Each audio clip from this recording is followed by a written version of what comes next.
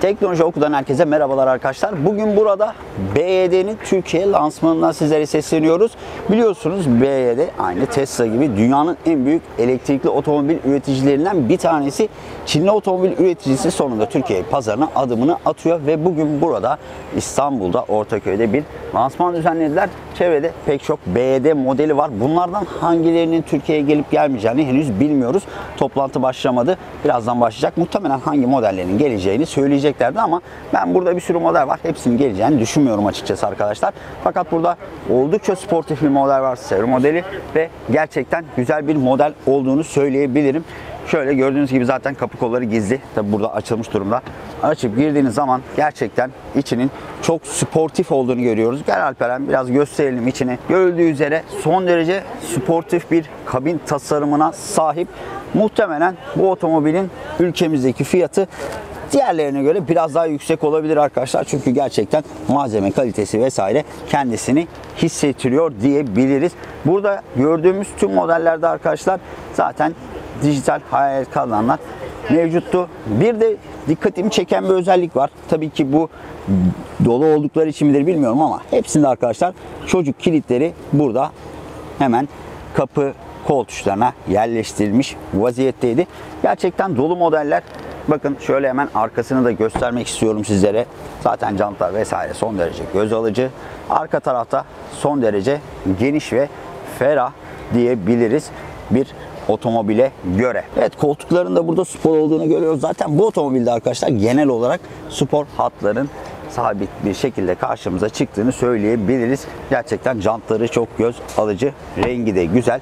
Muhtemelen bu otomobil ülkemize gelse fiyatını tahmin etmek biraz güç ama belki birazdan söylerler. Benim tahminim yani böyle bir otomobil için 2-3 milyon arasında bir fiyat çok fazla bizleri şaşırtmayacaktır. Çünkü bu otomobilin arkadaşlar hızlı şarj özelliklerinden, motor özelliklerinden, menzil özelliklerinden de bahsedeceğim birazdan sizlere. Gerçekten güzel değerler veriyor bizlere. Bu otomobil 4 çeker arkadaşlar.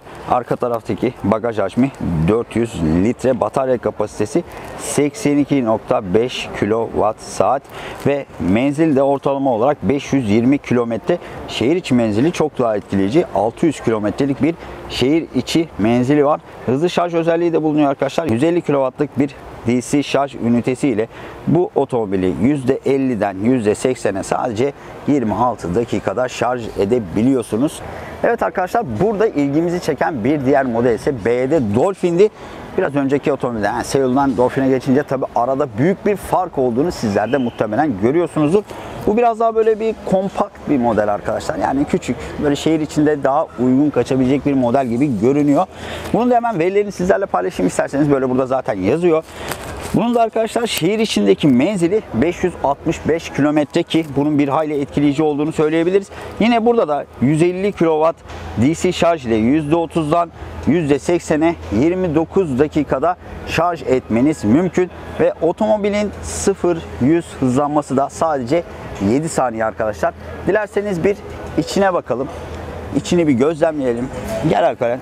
Evet otomobilin kapısını açtığımızda aslında hani dışarıdan göründüğü gibi çok böyle hani aile otomobili demeyeyim de ne bileyim sportif bir tarz var içerisinde arkadaşlar. Yani içerisinin son derece şık olduğunu söyleyebiliriz. Hemen direksiyonun önünde ufak bir kadran bulunuyor.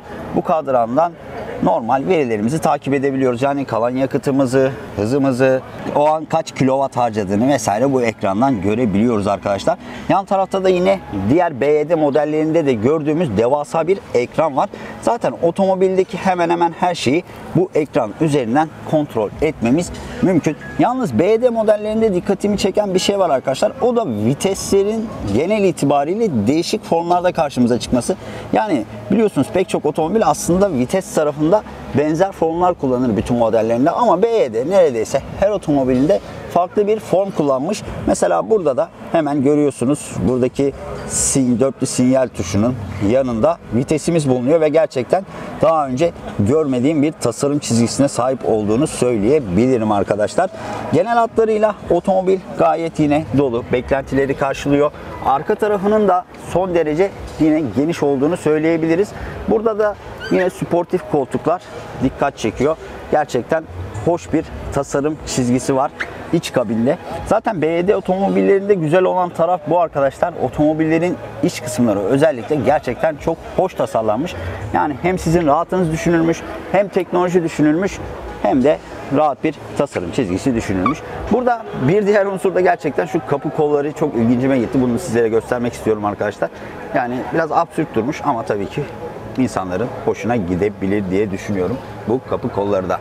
Bagajımızı da gösterelim isterseniz. Otomobil dışarıdan ufak gözüküyor arkadaşlar. Zaten burada muhtemelen ufak bir bagaja da karşılaşıyoruz. Evet. Gördüğünüz gibi bagajımız ufak ama şöyle alt tarafta da yine gizli bir kısım mevcut. Bunu dilerseniz çıkartabiliyorsunuz ve bagajın hacmini biraz daha genişletebiliyorsunuz. Ama ben bagajımı düz olarak kullanmayı seviyorum diyorsanız da yine bu şekilde de kullanabilirsiniz. Bu tarz bir otomobil için yeterli bir bagaj olduğunu söyleyebiliriz arkadaşlar. Bu arada arka stoplar gerçekten çok hoş. Diğer BYD modellerinde de bu vardı arkadaşlar. Muhtemelen arka stoplar için özel bir mesai harcamışlar. Gerçekten her biri led tasarıma sahip ve her biri de çok hoş gözüküyor. Yani özellikle bu otomobil için, Dolphin için söyleyebilirim. Hani arka stopları otomobilin ön tarafından çok daha hoş gözüküyor arkadaşlar. Dilerseniz şimdi başka bir otomobile geçelim. Bu arada arkadaşlar otomobilin içinde şöyle çok ufak ve değişik bir detay bulduk. Bu şu, şu kısımda arkadaşlar camı kırabiliyorsunuz. Bir kaza anında arabada sıkıştığınızda. Ve bu kısımda da bir jilet yer alıyor. Ve emniyet kemerinizi kesmenizi sağlıyor. Yani ben ilk defa gördüm diyebilirim. Böyle bir detay. Hemen şu alt kısma yerleştirmişler bunu da. Yani bu alt kısımdan alıp e, emniyet kemerine sıkıştıysa onu kesebiliyorsunuz ya da camı kırabiliyorsunuz. Böyle bir ayrıntıya yer vermeleri de bence hoş olmuş. Evet arkadaşlar şimdi BYD'nin Tang modelinin yanındayız. Yani K ile değil G ile şöyle gördüğünüz gibi tank modeli. Bu bir su model arkadaşlar ve görüldüğü üzere gayet kalıplı görünüyor. Ortalama bunun da menzili yine aslında diğer otomobillerle az çok aynı 500 kilometre civarlarında. Fakat bu otomobilin en etkileyici yanı geniş bagajı arkadaşlar.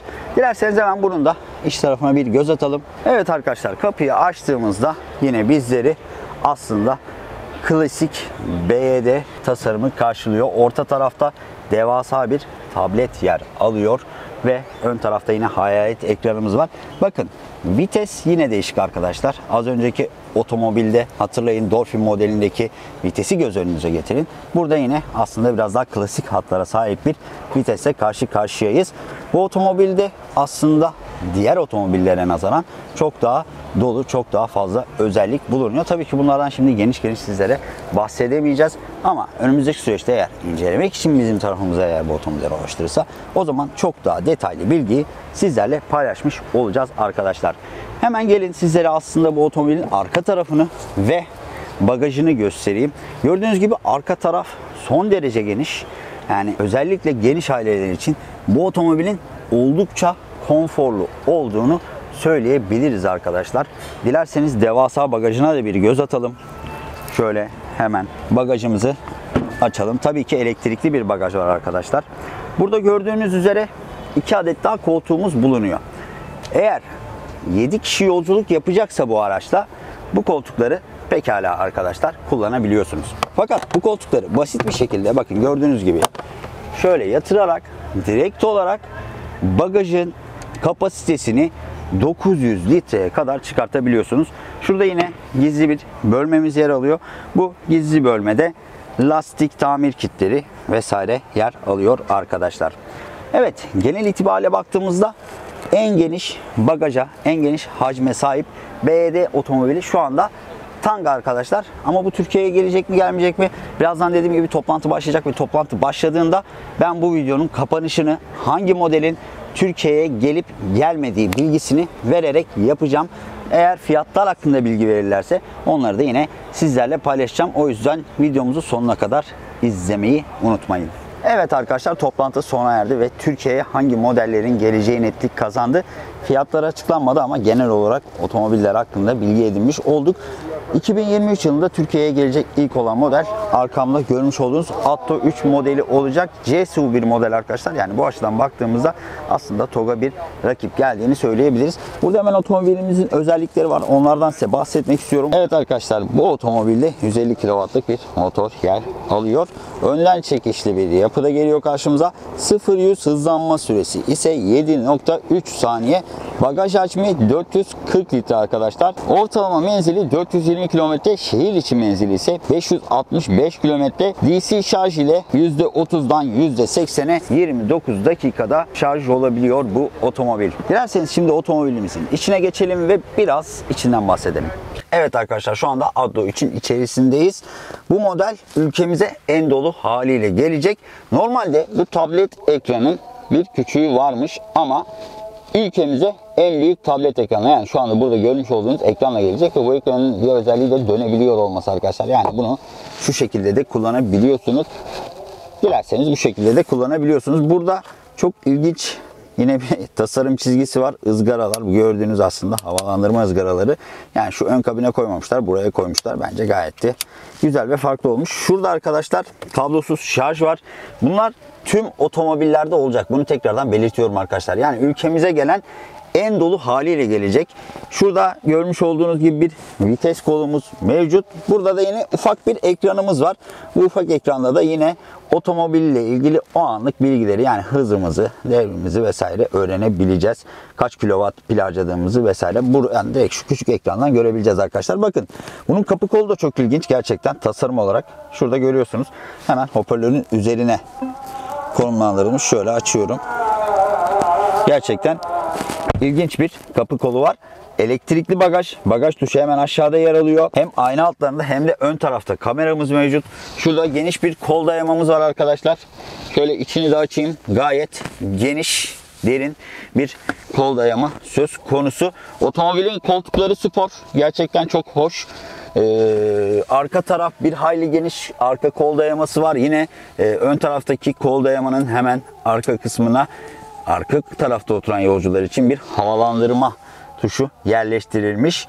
Dilerseniz bagajına da bir göz atalım şimdi ve otomobilin arka hatlarına da bakmış olalım. Evet arkadaşlar bu otomobildeki en büyük sürpriz aslında Türkiye'de %10 vergi diliminden satılacak olması. Çünkü biliyorsunuz aslında Türkiye'de Çinli otomobil üreticilerine %15'lik bir ek vergi söz konusuydu.